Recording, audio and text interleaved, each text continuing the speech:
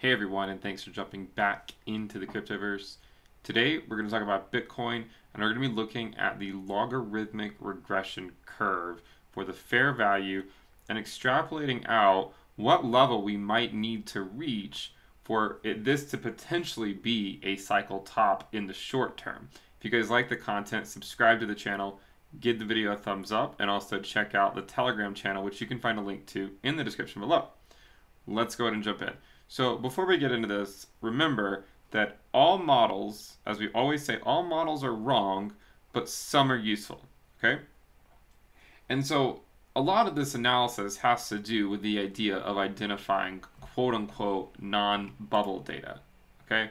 And if you buy that, or at least think that it's worth listening to, then, you know, we'll proceed here. So the idea is that we can more or less fit our quote unquote non bubble data to a logarithmic regression curve here, the blue line. We then add a tolerance band.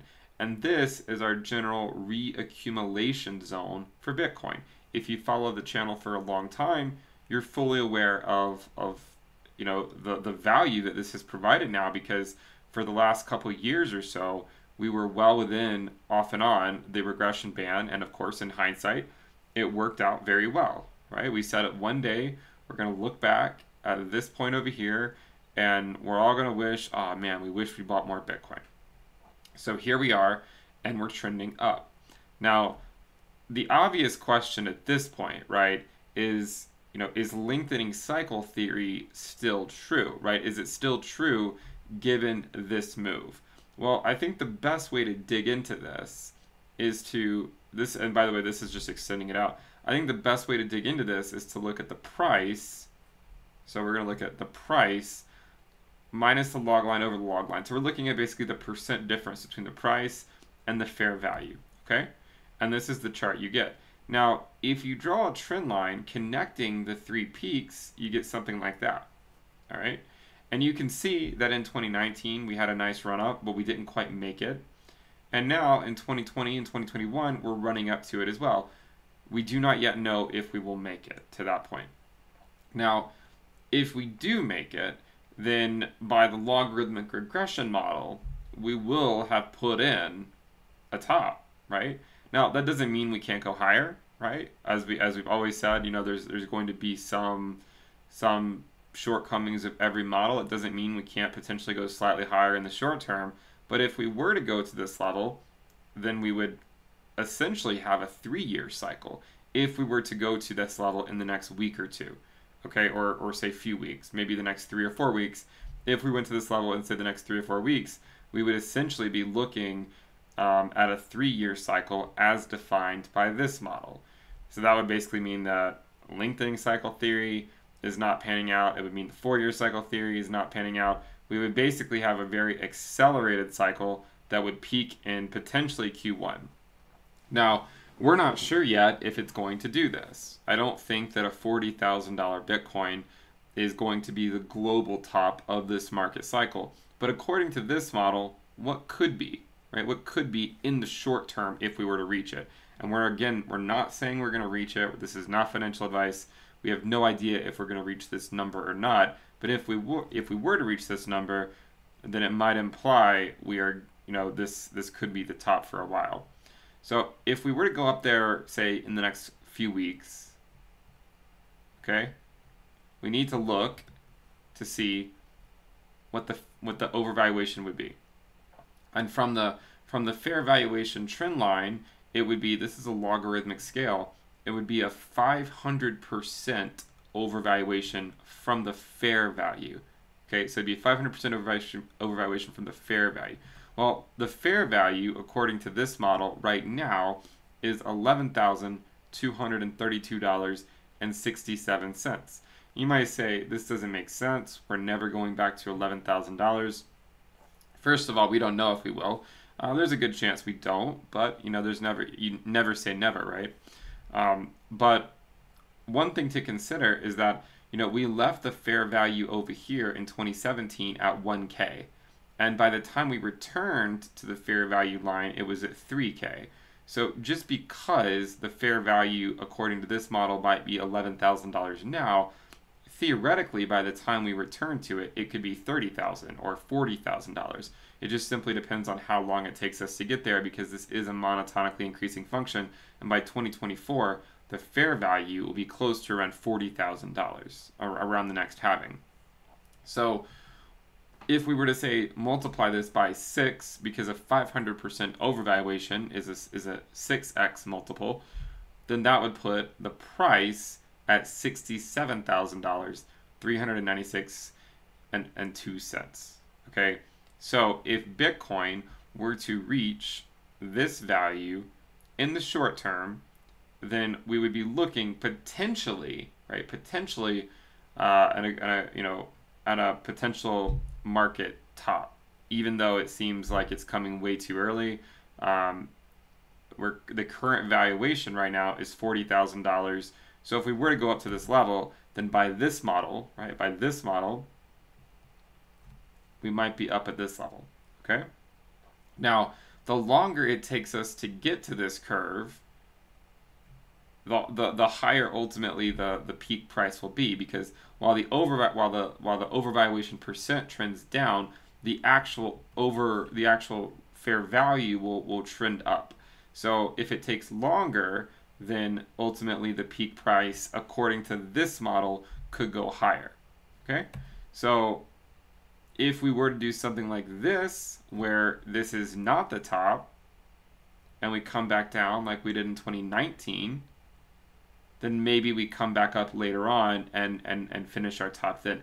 Again, we do know that eventually this model will be broken because, you know, it ultimately trends down forever. Of course, theoretically, theoretically, you know, the, the regression curve has to be fit each market cycle. So after this market cycle, this will more or less become obsolete anyways. But at least we can use each market cycle to try to get an idea of where the next peak may be. So if this were to say take longer, another year or two, then the peak could be over 100K according to this model.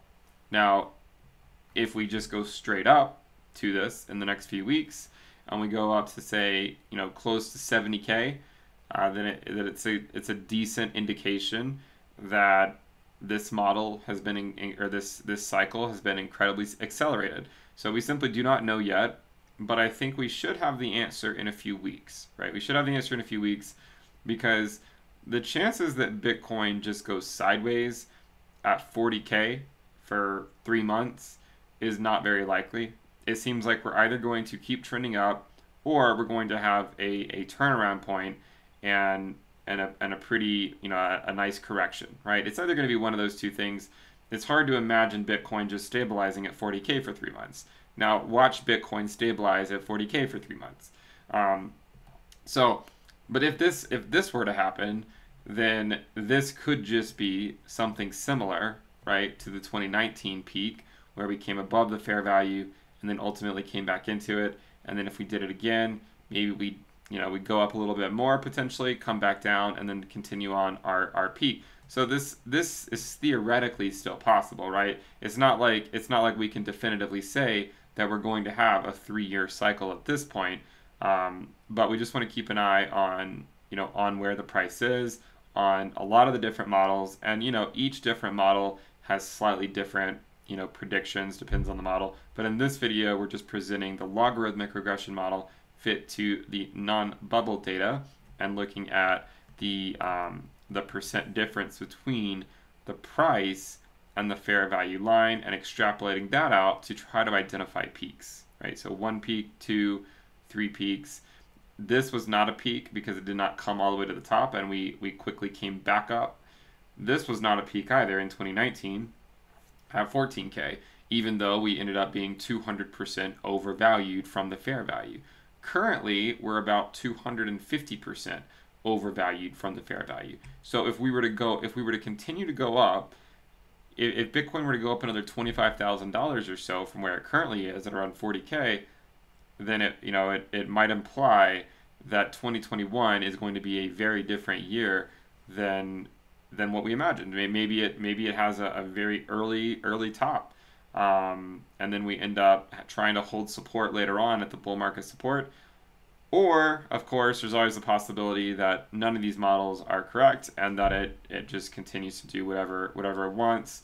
Um, uh, but anyways, we're going to use the models and, and try to identify where we might see a top if we continue this move.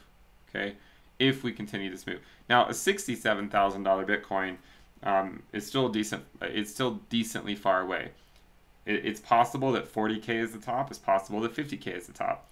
Um, but we'll just have to wait and see. And at the and at the rate that Bitcoin's going, again, as I said, as I said, we should know in a few weeks, right? I mean, a month from now, hopefully we can come back and and definitively know, you know, has there been a turnaround point, or are we still trending up? And if we're still trending up in a in a month, then there's a good chance we've in fact reached uh, this level up here.